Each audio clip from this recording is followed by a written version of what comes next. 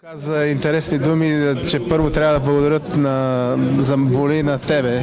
Не на мене, на Славия. Славия, да. Защо на мене? И ти си президент. Аз, аз съм президент, ама той е станал и той сам го казва, че това, което е в момента дължи на Славия. Той отказа оферта от Пари Сен Жермен и каза, те не ме поканиха, когато аз бях във Франция, сега е късно.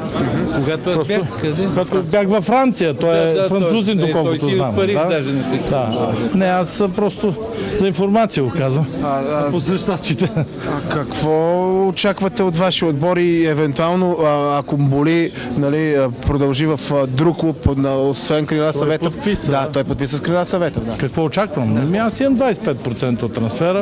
Предполагам, че поне някой друг милион ще влезне в каста на Славия.